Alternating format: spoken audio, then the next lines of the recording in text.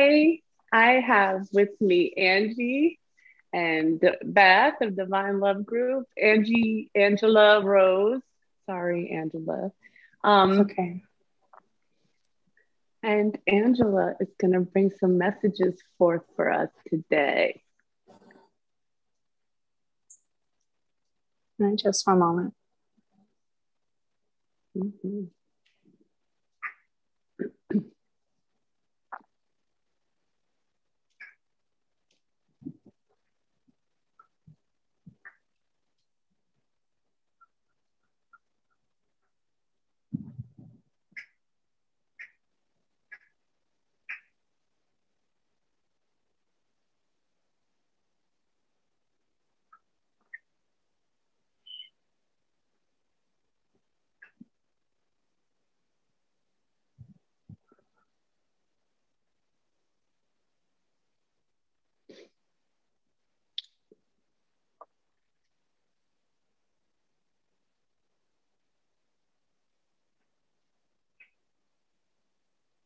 So, first and foremost, each and every one of you at this time are being shown many openings within yourselves. The way that the heart is accepting the lessons that are coming forward. Every single one of you has a point and purpose within each lesson to which you will be shown along the way. We wish to express that the ability to process the lessons more rapidly, opposed to previous energy where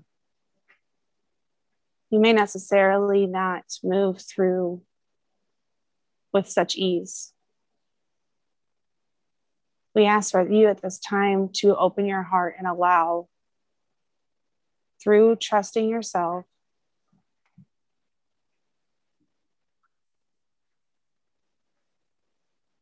that you are not alone. You are supported. And it can be as easy as you would like it to be. With this being said, you can also allow for giving me air quotes suffering and strife to come from the lessons you are going through. The basis upon which these lessons are stemming is how you would say letting things go, clearing yourself from any and all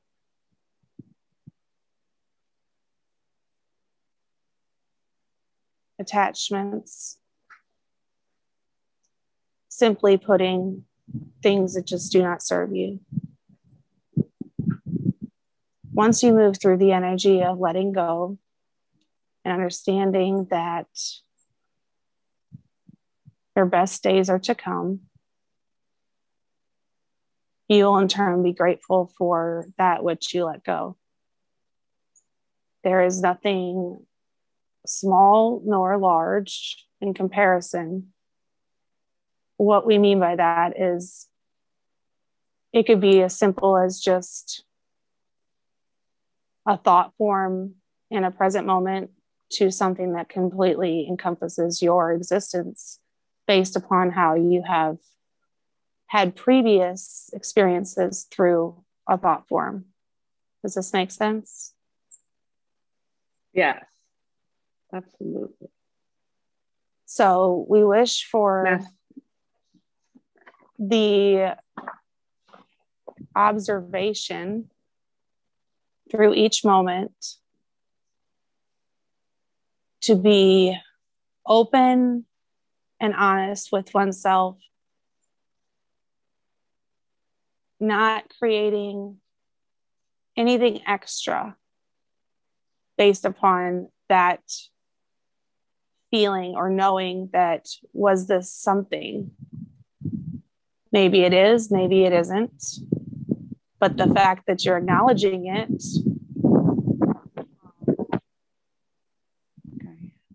I'm kashundu to yatas. Vidu bari na yamaka. Sishanate te se shunto para sikatai. Yamaka, two mana, I hear the door. He got it.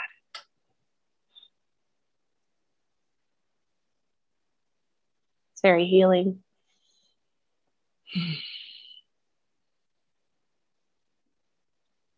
Finishing that statement. It's very simple when you don't question what is by just allowing your truest nature to come forward in every present moment and accepting that through your surrender and your trust within yourself and your team, however you wish to see that, you could see it as the universe, you could see it as source, you could see it as your guides, just yourself. There's there's no difference. All is one. We just ask for you to be more patient, kind, and loving, and honor the energy that is here supporting you at this time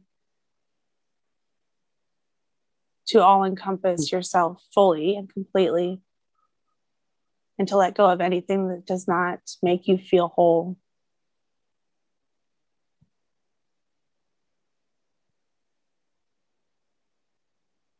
Thank you.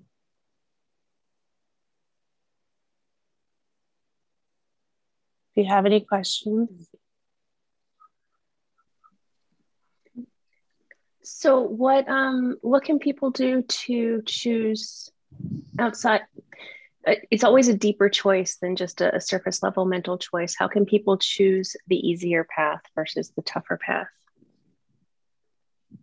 There is no one way. Depending on the person, the easier path may open up several layers that will ultimately lead to the opposite because of the reflection. So, say, for example,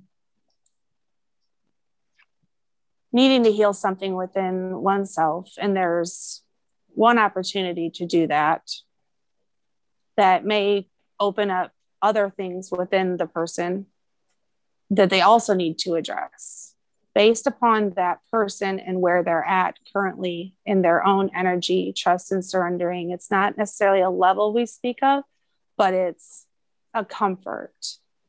Then that person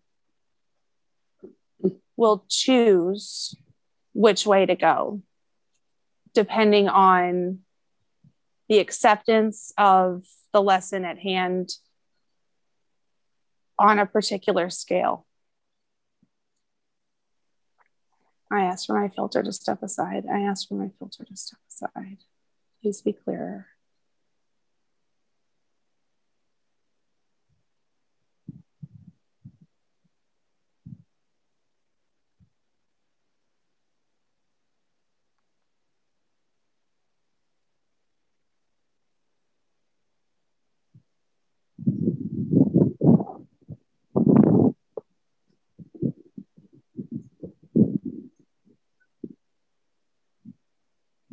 Everything is based on the perspective. If seeing something as a lesson and not finding the honor for oneself within it causes a problem, that lesson may move away or step aside based upon the energy that person's either accepting or denying. More so, we wish to give this example.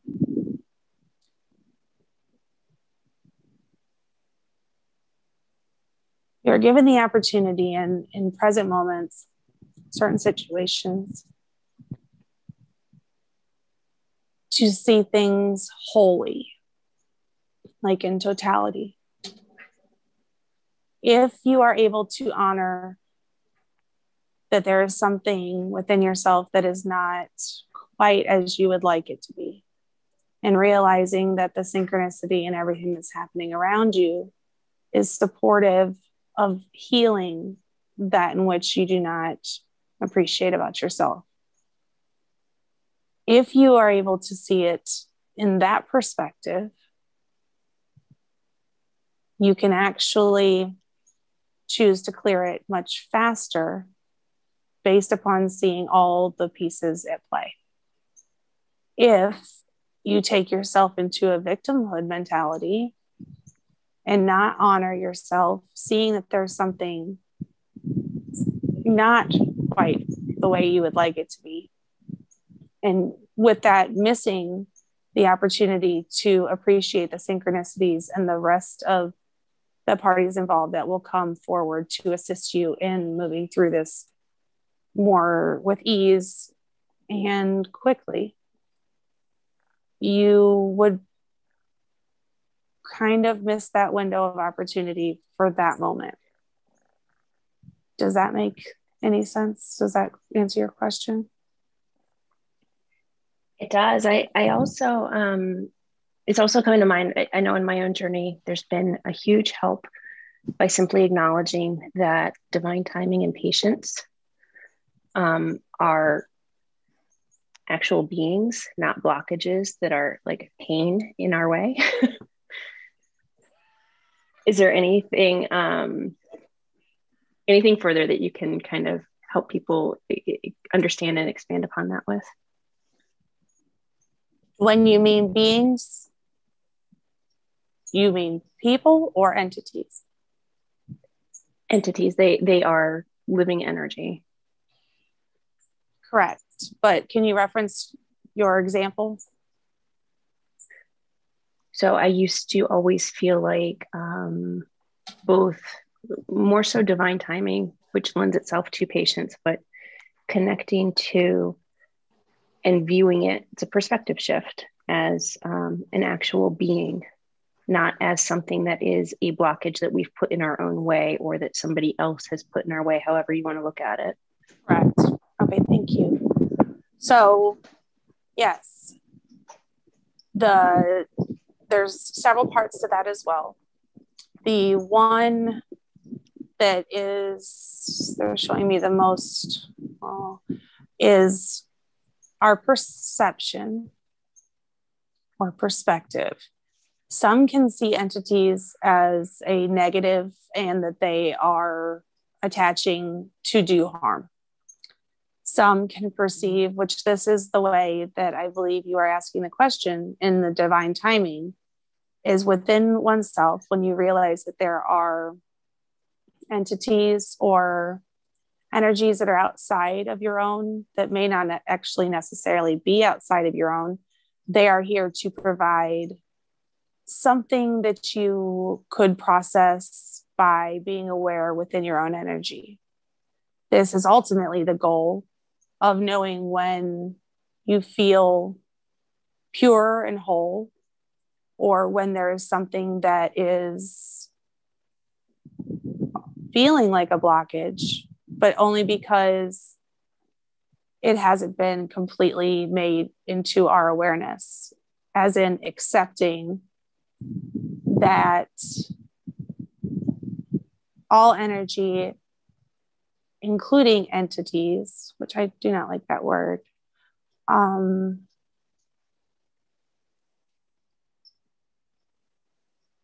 are here to bring forth more interpersonal awareness. Hmm.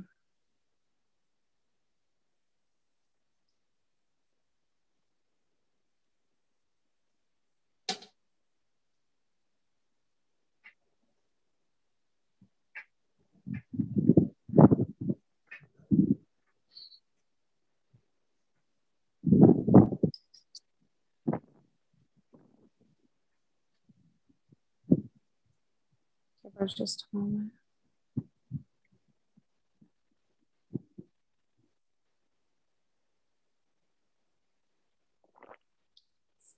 Ultimately comes back to judgment. And believing that because something has come into our energy that essentially we would have had to allow why would we allow for something that could reference itself as a blockage well this is simply the journey this is the same as all experiences that we manifest and bring into our reality, all to just have the experience. Sometimes it can just be just that. When we have a perspective of our energy, maybe in a sense, not fully connecting to our own energy, a lot of outside allowance of influence can also create the entity or create the feeling that something is there, which we may just put there ourselves, just so that we can work through it and feel the difference of having all alternate energy in our space then seeing the the opposite which is when we can clear and move through any blockages hence the divine timing part is your perspective on the situation and your energy then, now, and tomorrow when you move through it and you no longer feel that it's something outside of you. And then you can have that validation of, I've worked through it. I no longer have any other energy that's not mine. You love it, you let it go, and come back to the tomorrow of when you can wake up and feel whole until another lesson comes along and you need to experience something else and an energy may come forward to do the exact same thing, except for at this moment, you've realized that it feels different. The energy is either welcomed or not welcome. At a certain time, you won't experience unwelcomed energy because you will at that point own from your entire aura space and you you won't feel anything that is negative you will only feel the positive does that answer your question does.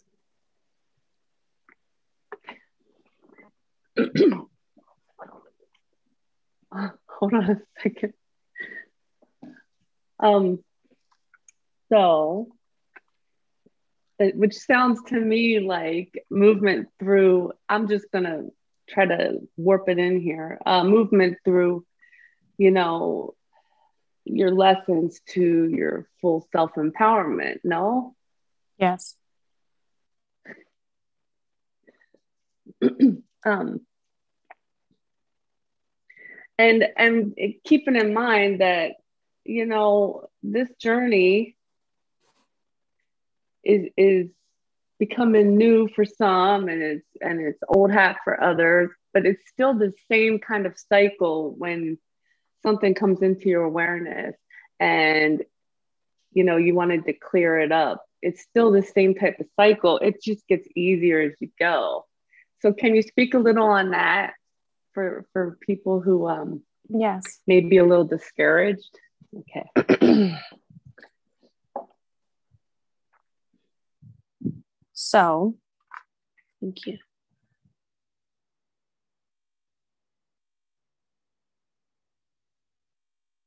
On, ears are attention to. So referencing new or old, it's all irrelevant at this point. Based upon that question.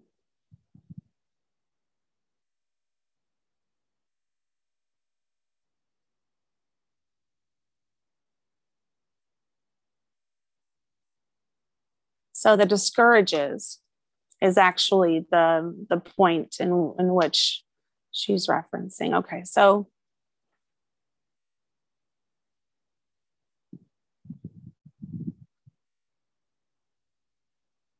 what is the difference between someone that's discouraged that is aware of the fact they're going through a lesson or an experience and the one that is aware but thinks that there's nothing to be discouraged about they're essentially both stuck in their in their own way because the awareness and the allowance that this is an experience and that we are never going to be finished. It's breaking it down into the simplicity and the actual beauty of each step of the way, essentially. So if you're feeling discouraged, you're you are getting the lessons. You're getting shown. You're getting mirrored. You're you're seeing reflections. You're more than likely getting very triggered. Step back. Pick one part of what makes you discouraged. Say a trigger for example or just say yes no we will stay with trigger look within that trigger release all pieces outside of yourself and ask yourself the question of why I was triggered. Why am I being affected in this way? If you want to blame anything outside of yourself, stop. Sit back in that space, look back within, because you just opened up another can of worms, if you will. Mm, Jesus. So start writing if you need to write because you had just opened up three new phases of what you need to move through. So discouragement only comes because we have an expectation that it's supposed to be a certain way.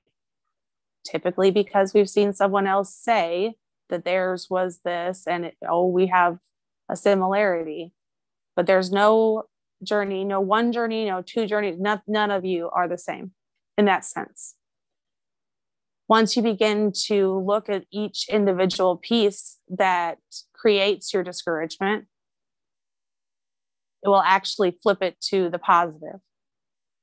There's nothing wrong with being discouraged. Don't take us the wrong way. The positive side of that is I appreciate being discouraged in order for me to see what is creating that within me that makes it seem that I'm less than compared to someone else say you don't have social media, say you don't have anyone else in your environment or in your life that is going through what you perceive to be the same type of a situation. And you still feel discouraged. Ask yourself what is what is discouraging you about this? And once again, go back inside. Everything is inside.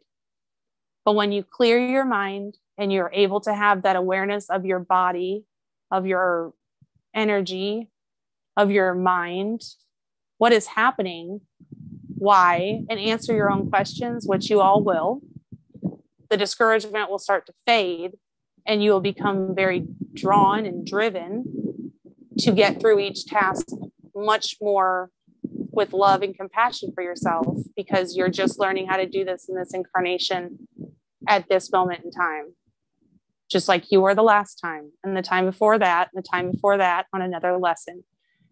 Each time it gets simpler, depending on the person, it also gets more in depth.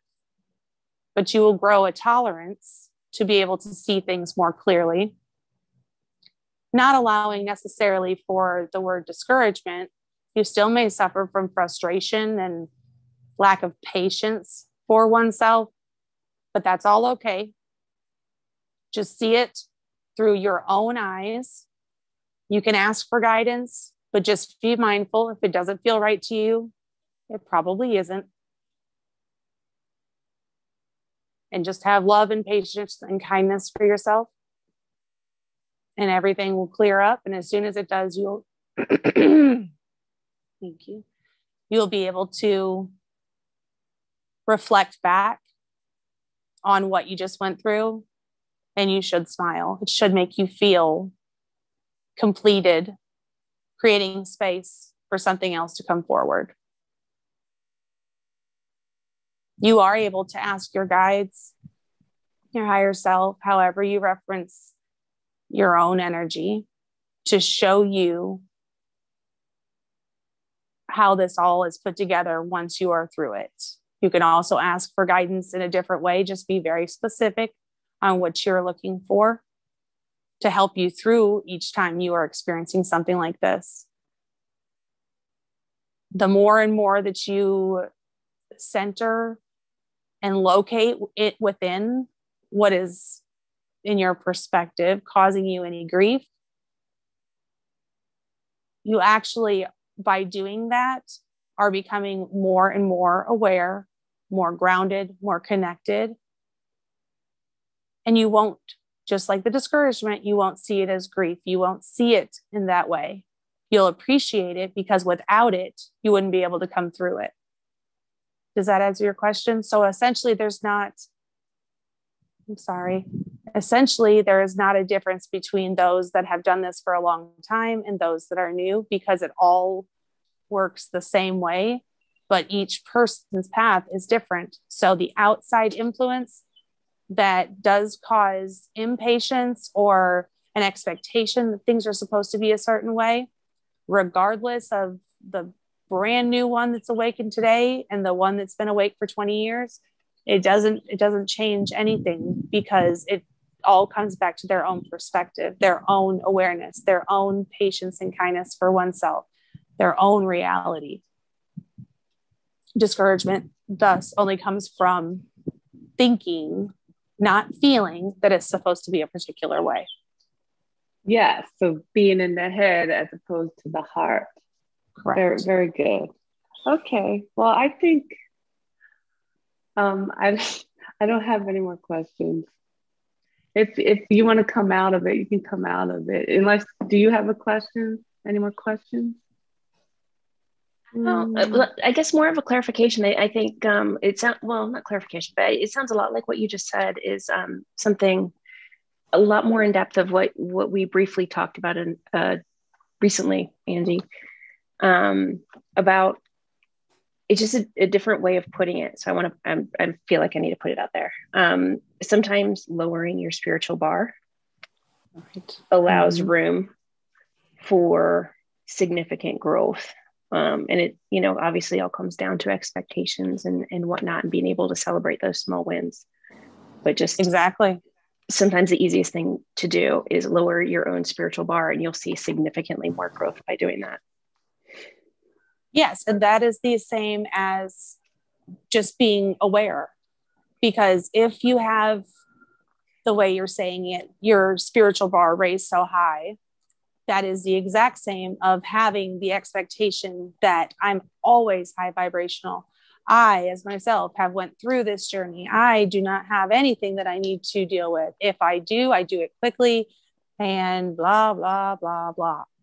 So being in uh, the awareness that we appreciate bringing forward any lessons, anything that is within us that is not fully healed, that is taking up space, not allowing for better, brighter to come in. So that is essentially the goal. So, yes, lowering your spiritual bar is the equivalent to saying being real with yourself because the more and more you focus on anything that is holding you back from being the best version of yourself needs to be handled period no matter what it takes. Whether it's solitude whether it's you know joining some group just to let people hear you for a little while. But ultimately it comes back to trusting surrendering and being as honest with yourself as possible that we all have to go through this. No one came here completely done. That's why we came here. So, yes, if, if you need to say it that way, that you're lowering your spiritual bar just to get yourself to a space to process appropriately, then so be it. That all comes back to awareness. And with that, we're proud of you. Does that make more sense? Oh, it always made sense. I just sometimes offer a, a different way of saying it because it reaches more people. Most definitely. Yeah, she's, if you want to, ready. Okay.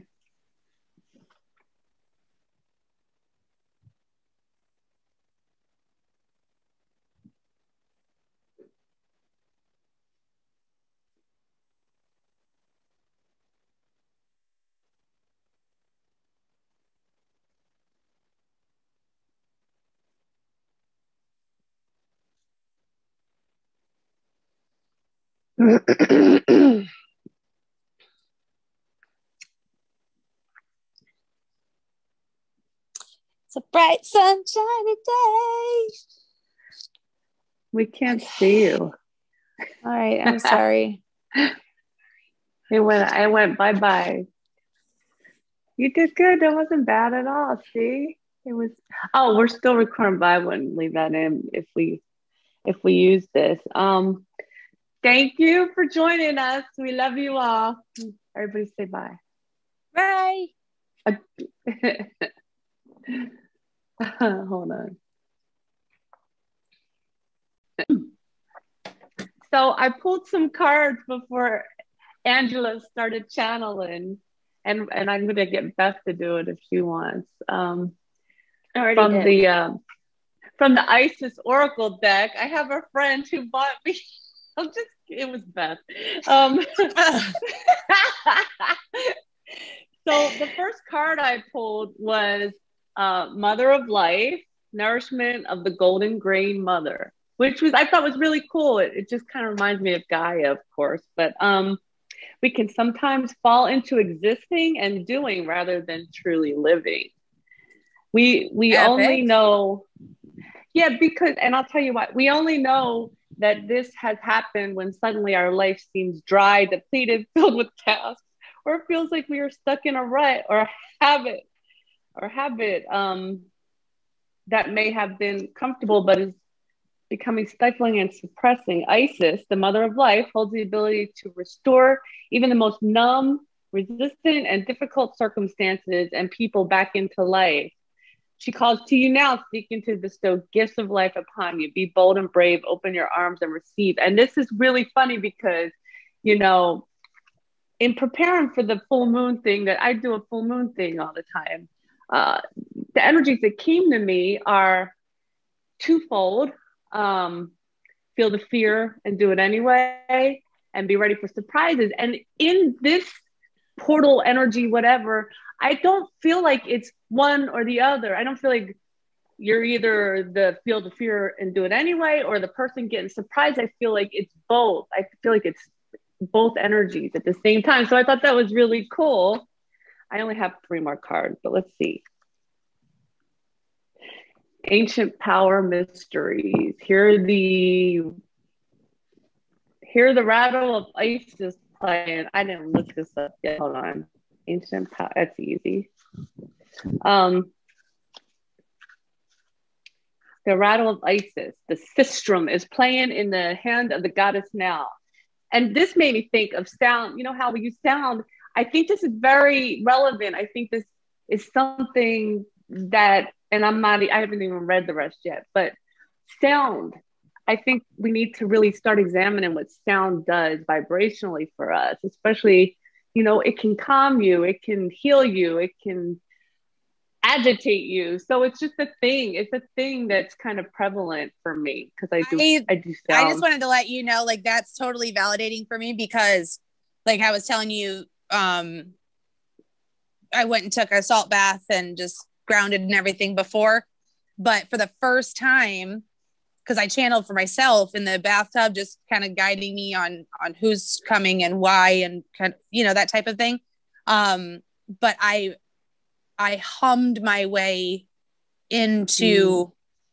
that state of but I have yeah, of course, you know, I do ohms and stuff like that, but not it came it, it came out of nowhere like i just got myself into that vibration and just like i felt it through my my chest you know obviously that initial hum but then i took it you know it just came all the way up where i could literally feel it in my teeth and then in my nose just from that vibration like so i just went you validated for me that and then you went like that, yeah that, so let me that read is something this. i can use so you can you sense it with your inner he- hearing? Its vibration reaches through your crown chakra and enters your body, initiating you into great ancient power mysteries of sound, creativity, and healing. That's so funny. um, this is a time when words and music will become increasingly important on your spiritual path and healing journey. Oh, how funny. Okay. Epic. And then I got Goddess of 10,000 Names, which you know, this card, before I even look at it, what it means to me, it says Isis, endless emanations of the priestess. It just reminds me of one time when my guide said to me, You've had many names. Right. I've had many names. It doesn't matter what you call me. So it's letting go of the labels too, of all the I've been Yeah. this, this, this, and this. Yeah. Yes. Good God. Yes. All right. 66. Isis, with many names, forms, associations, and expressions, is referred to as the goddess of 10,000 names. A name holds power. no. We were just talking about Uh, that. It defines and energizes or limits. The names, faces, and roles that you play are just one part of your being, yet you exist beyond them, beloved initiate, as a vast being. You are currently re- realizing that you are not limited by previous identities you held. Instead, you are becoming more of your whole self. I love this. It's beautiful. Um, enjoy the uncovering of even more of you. That's it. That is amazing. And then the last one is Portal of Light, which is just perfect with all these cards, right? I love it. Portal of Light, she glides on wings through time and space. I love that visual.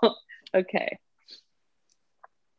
Um, and you know what I thought when I saw this, right? I was like, it just reminds me of all the all the astral traveling that you know you like to do and stuff. And I'm thinking I haven't been doing that very much. I kind of miss that. All right, portal. Um, it is only this physical reality that is bound by time and space. You are being conscious on levels beyond the physical world. You are guided to work with your healing powers beyond the confines of time and space and to allow your sense of self to expand. It is safe for you to do this now. you in other words, I guess you guys have gone through enough shit shows. Now you can do it all. Go on.